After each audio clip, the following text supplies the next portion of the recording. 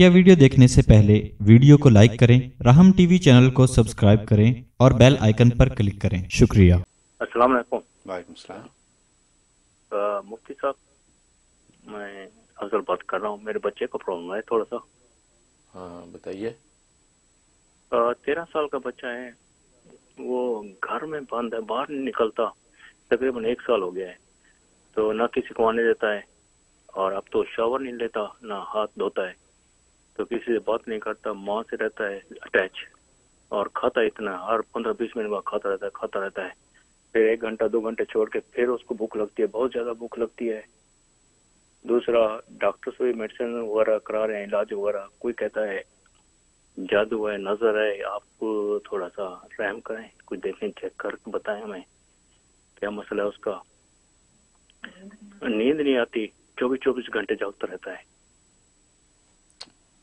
ठीक ठीक चलिए अल्लाह अकबर अल्लाह अकबर। अल्लाह। ताला आपकी मुश्किल आसान फरमाए। वाकई ये तो औलाद के हवाले से इतनी बड़ी तकलीफ़ की बात है। हम दिल से दुआ करते हैं कि अल्लाह ताला इस बच्चे को शिफा कुल्ली नसीब फरमाए। बाकी जो आपने कैफियत अहवाल बताए इसका मतलब कुछ शैतानी जीन इस पर मुसलत है। कि बाद शैतानी जिन्नात ऐसे हैं कि जब मुसलत हो जाते हैं तो बच्चे की यही कैफियत होती हैं कि वो घर से निकलता नहीं किसी से मिलता नहीं और खूब खाता है और हर दो एक दो घंटे के बाद उसको भूख लगती खाता रहता है।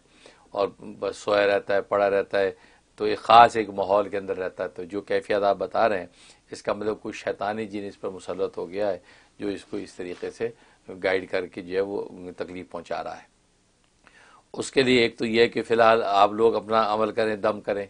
उसका तरीक़ा यह है कि सूरत आल इमरान आयत नंबर 154 एक सौ चौवन नंबर आयत सूरत आल इमरान की ये सरसों के तेल के ऊपर मस्टर्ड ऑयल के ऊपर आपने बारह मरतबा पढ़ के दम करनी है। अव्वल आखिर बारह मरतबा दुरुद इब्राहिमी पढ़ना है, पढ़ के तेल पे दम करना है। वो जो तेल है, उस तेल की इसकी मालिश करनी है। अगर जो सर की मालिश करें, उसके जो ये जॉइंट जितने हैं जॉइंट उन तमाम जॉइंटों की, घुटनों की, बाजों की और इसी कोनियों की तो बदन पे मैक्सिमम जहाँ जहाँ तेल मल सकते हैं तो वहाँ तेल मलें और कान में दो दो कतरे तेल के डालें। तो वालदा के साथ अटैच है, वालदा के पास रहता तो वालदा को चाहिए किसी हिकमत मोहब्बत से दो दो कतरे उसके कान में डालें और जो उसके सर की मालिश करें। सात दिन सेवन दिन ये आपने करना है। रोज़ाना मुतवातर सात दिन कर लें दी बेस्ट नहीं तो आज कर लिया तो चलो फिर दोबारा जब भी मौका मिला, जब उसका मूड ज़रा सही हुआ तो उस तब मालिश कर दी। फिर इस तरह सात दफ़ा ये कर लें इन किसी भी किस्म का जिन भूत होगा, वो दफ़ा हो जाएगा और बच्चे को शिफा हो जाएगी। तो ये आप करें। और उसके अलावा यही आयतें, जब आप बारह मरतबा पढ़ के जो तेल दम करके रख लेंगे, ये बस एक ही दफ़ा दम करके रखना है। रोज़ाना दम नहीं करना। यही आयतें अलबत् तीन मरतबा रोज़ाना पढ़ के उसके कानों में दो ज़ोर ज़ोर से तीन फूंके मारनी है। तीन मरतबा। तो गोया कि ये आप 21 दिन तक ये दम करने का सिलसिला होगा और सात दिन मालिश का सिलसिला होगा। इन अल्लाह की रहमत से जाए बच्चा आपका ठीक हो जाएगा।